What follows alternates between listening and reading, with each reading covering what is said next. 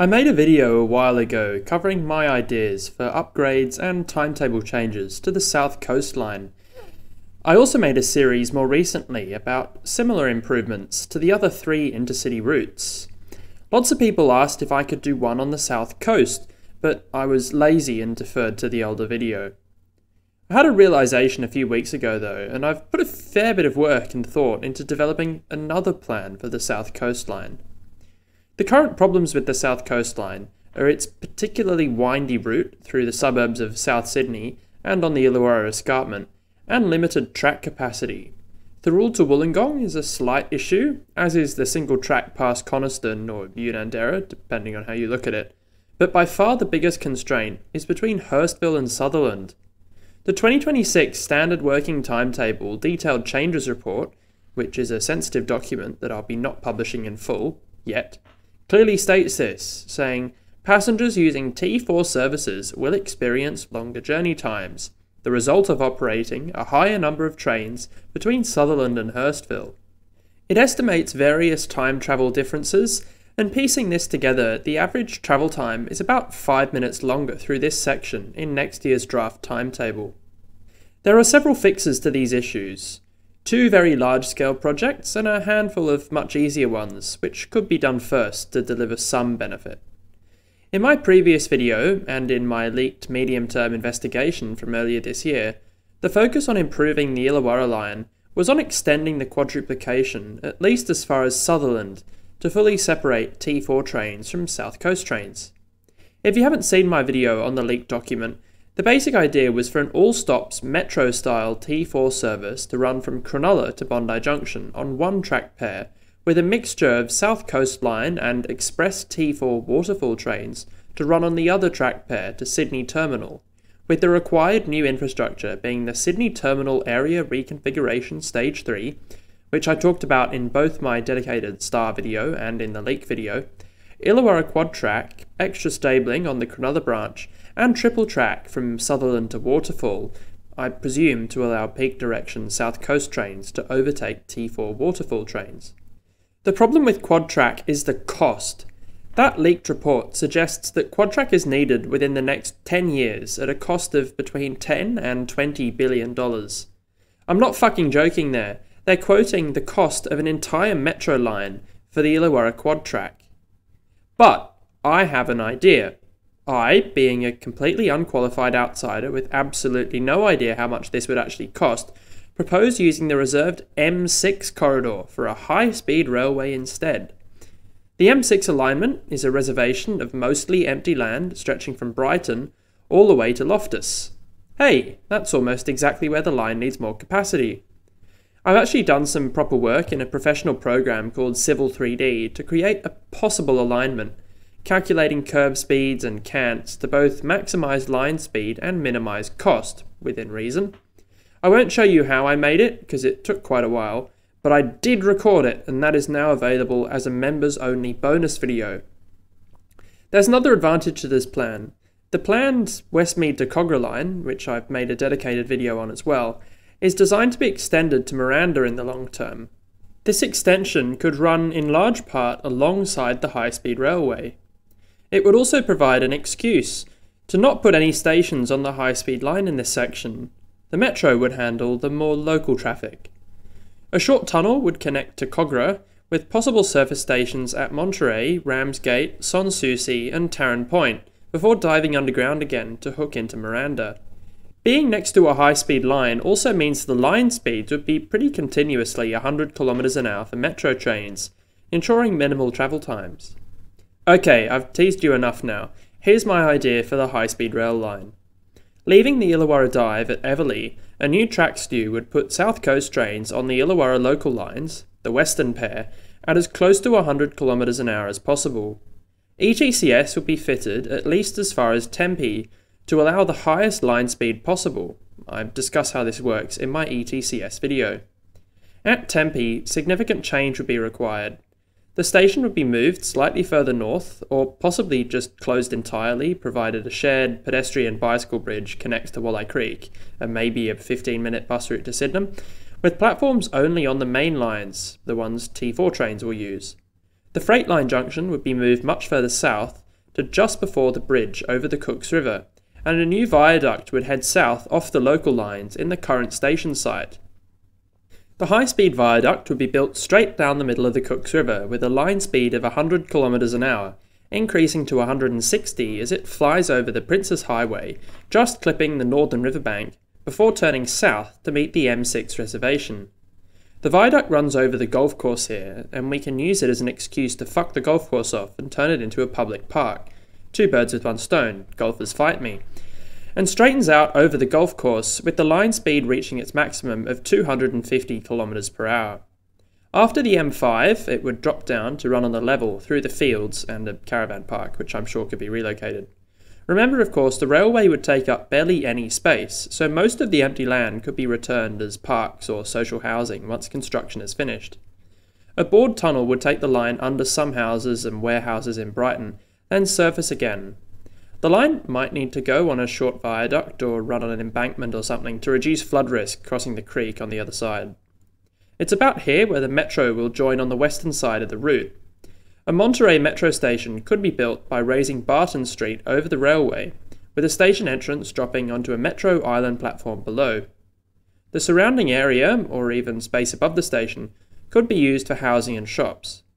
The line would run on the surface as far as Ramsgate, when more houses would push it underground again.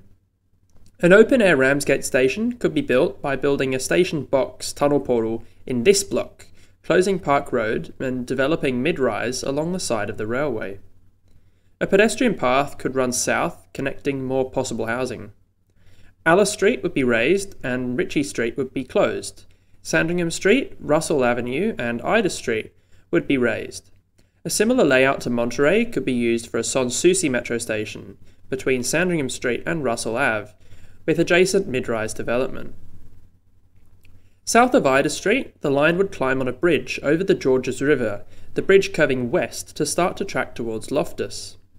The bridge would continue over the Taren Point industrial area, which might require demolishing some buildings. The space around the viaduct could be used for further industrial space. The viaduct would land again just after Taren Point Road, and a station could be built here with possible development. The line would run west, yes, unfortunately some of these trees will have to go, then briefly climb over Port Hacking Road. The caravan park here might also fall victim, but it could be relocated. There's a funky looking empty concrete covered lot here, which could be a candidate for a North Miranda station. The metro would then dive underground for the final time and curve towards Miranda Railway Station. A station box could be built on the south side, parallel to the existing platforms, in the space of the current car park and Gibbs Street. The high speed line, meanwhile, would continue southwest, initially diving with the metro under the boulevard, but then surfacing again and running on a viaduct over Kingsway, the railway, and a lot of houses until Northwest Arm Road. Just after crossing over the railway line, the line speed would drop back to 160 km per hour. In order to widen the curve, the railway cuts the corner slightly here, so some viaduct piers might fall straight into some people's living rooms. Hunter Street would be closed, with Forest Road rerouted to Northwest Arm Road. The railway runs due west at this point into Royal National Park, where unfortunately a few more trees and a building would need cutting down. I haven't really looked at the gradients here, so a viaduct or embankments might be required. A viaduct would take the railway over both Princes Highway and the Royal National Park tram branch, and would then join the eastern side of the Illawarra line and continue as a separate track pair to Waterfall. Curve easing on this section would ideally push the line speed on the high speed section to 160 km an hour. At Waterfall, I'd do a big reconfiguration. The high speed line would drop into an Illawarra escarpment tunnel as far as the Thirroul, with a continuous line speed of 160 km an hour. Ramps would, however, lead from the line to Waterfall Station and connect with the existing line to the coastal towns to allow these towns to also get express services to Sydney. The station would have three platforms, one turnback for suburban trains and one island for south coast local trains in each direction. The Thirroul Tunnel would emerge out of the cliff into Thirroul Yard and then the down high speed line towards Wollongong would cross under the existing line to create an up fast, up slow, down slow, down fast arrangement. Tracks would be reconfigured at Thirroul to allow trains to terminate in both directions from both lines, and to switch from one line to another.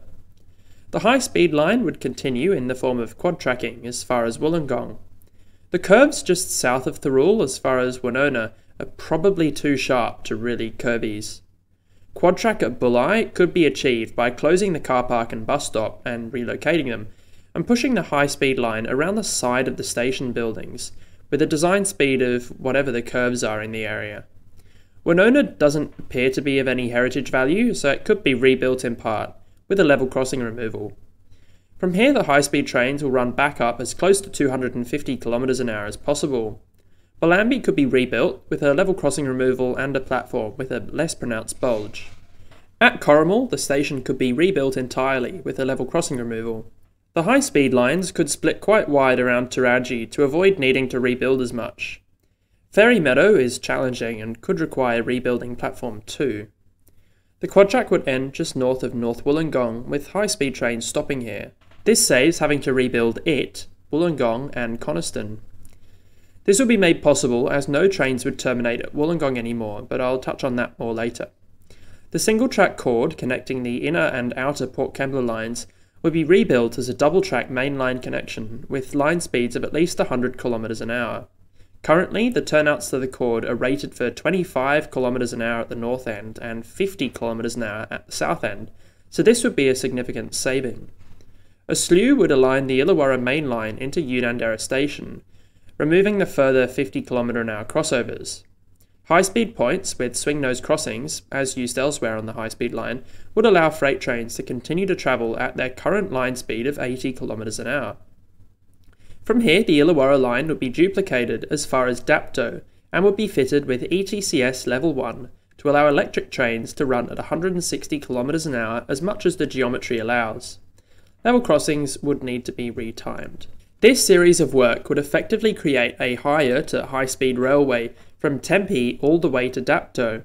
From North Wollongong to Tempe, the high speed line would be run with 25 kV overhead wires and be signalled with ETCS Level 2 cab signalling.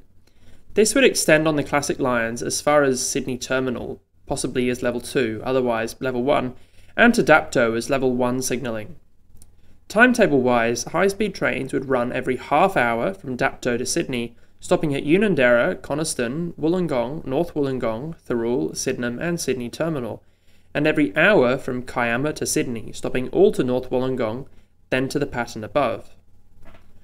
South Coast local trains would run every half hour from Port Kembla to Sydney Terminal, running high speed past Waterfall, and every half hour from Port Kembla to Thirroul only. This creates a 15 minute headway on local trains within Wollongong, 30 minutes to Dapto, 30 minutes express to Sydney, and 30 minutes to Sydney as a local service. The hourly frequency to Kiama would remain owing to the single track. In an ideal world, it'd all be doubled and electrified to Bomaderry, but there's not much else to talk about with that. Within Sydney, a local express would run every 15 minutes from Waterfall off peak and every 10 on peak, all stops to Hurstville, then express to Sydenham and Sydney Terminal. Cronulla trains would run every 4 minutes on peak, reducing to 10 minutes off peak, stopping all to Bondi Junction. Rolling stock wise, the high speed line would require its own fleet. D sets could be used on the Wollongong locals to Thirroul. This would require six trains and a spare. These wouldn't be much use, being longer than six cars due to short platforms. The T4 Express could use 8 car D sets, possibly 10 car with platform extensions.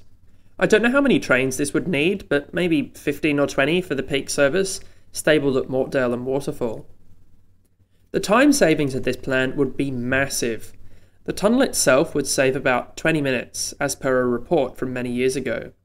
Wollongong to Thirroul could be cut to between 5 and 10 minutes. The tunnel would be done in its entirety in only 5 minutes. To Loftus would take another 5 minutes. The entire 20 kilometre new high speed line could be done in 7 minutes. Then, assuming a slight improvement from Tempe to Central, another 10 minutes.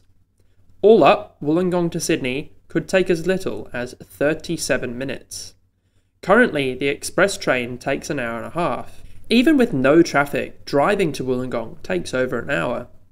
This improvement would be immense, and it massively deprioritises quad tracking the suburban Illawarra line. I'm envisaging something like the ICE 4 running the high speed services, however, possibly slightly more powerful to climb the Illawarra Escarpment Tunnel and to accelerate a bit quicker for Kiama and Wollongong stopping trains. They would, of course, be dual voltage to run on both 25 kV and 1500 volt overheads. This plan solves both the Illawarra rail capacity crisis and massively improves journey times, making rail the most competitive way of getting to Wollongong and the broader south coast for all manner of journeys. For those of you who'll inevitably ask, oh well, what about the M6? I say it can fuck off.